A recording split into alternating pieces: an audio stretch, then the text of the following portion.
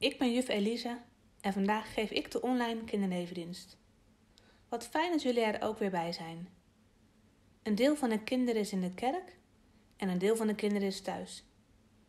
We horen vandaag wel allemaal hetzelfde verhaal. Dan zijn we toch een beetje met elkaar verbonden. Het is vandaag de derde Adventszondag. We horen een verhaal over Jozef. Hij krijgt bezoek van een engel. En wat de engel daar precies komt doen, dat horen jullie zo. Oh ja, even goed om in de gaten te houden. Op kerstavond, 24 december, is er in de Goede Herdenkerk een speciale kinderkerstdienst. En de leiding hoopt dat alle kinderen van de kindernevendienst er zijn. En in die dienst gaan we ook veel zingen. Daar gaan we nu vast mee oefenen. Zingen jullie mee? Het lied heet Eeuwenlang geleden.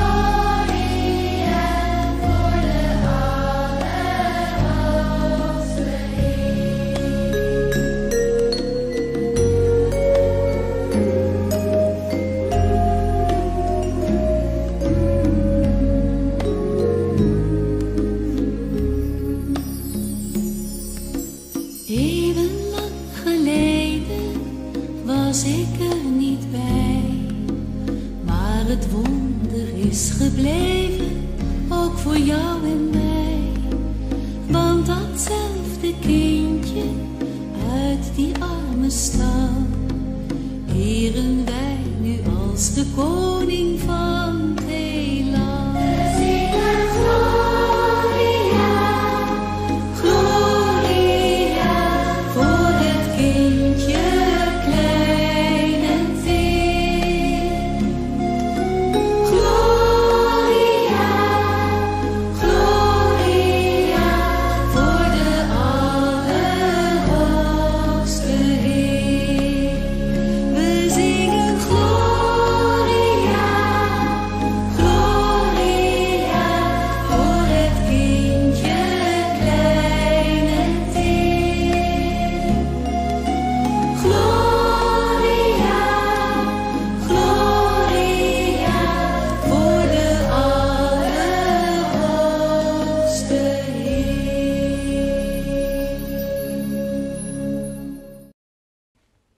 Ik wil graag met jullie eh, bidden. Lieve Vader in de hemel, we komen vandaag tot u in gebed. We willen u danken voor heel veel dingen en ook vragen om ons te helpen. We beginnen met danken, met het opnoemen van dingen waar we blij mee zijn. Heer, dank u wel voor alle fijne dingen in het leven. We danken u voor een dak boven ons hoofd, voor fijne mensen om ons heen, zoals ouders, pleegouders, opa's, oma's, een favoriete tante of oom, vrienden en vriendinnetjes op school en een hele lieve juf of meester. Heer, we danken dat de meesten van ons zich bijna nooit zorgen hoeven te maken over wat we eten. We leven in een land vol welvaart en in een land waar heel veel dingen gewoon voor ons zijn. En toch zijn er ook vlakbij in de Ridderkerk ook mensen en kinderen die niet veel geld hebben en zich zorgen maken of er altijd genoeg eten is. Wilt u bij hen zijn? En wilt u ons leren om deze mensen ook te helpen? Vader, door corona komt er nu ook weer meer druk op de zorg te staan. En het is heel druk in de ziekenhuizen. We kennen misschien ook mensen die corona hebben en ziek zijn. Vader, wilt u zorgen voor al die mensen die ziek zijn? Wilt u de handen van de artsen en verpleegsters zegenen, zodat ze goed hun werk kunnen doen? En geef ook kracht om het vol te blijven houden. Het gaat nu allemaal misschien wat langer duren dan we eerst dachten. Heer, geef ons geduld, kracht en doorzettingsvermogen. En we hopen dat we vooruit mogen kijken naar een periode dat het allemaal weer als vanouds is. Vader, wilt u zijn op plekken in de wereld waar heftige dingen gebeuren? Wilt u troosten waar het nodig is? Vader, dit vragen we niet omdat we het verdiend hebben, maar enkel uit genade. In Jezus' naam. Amen.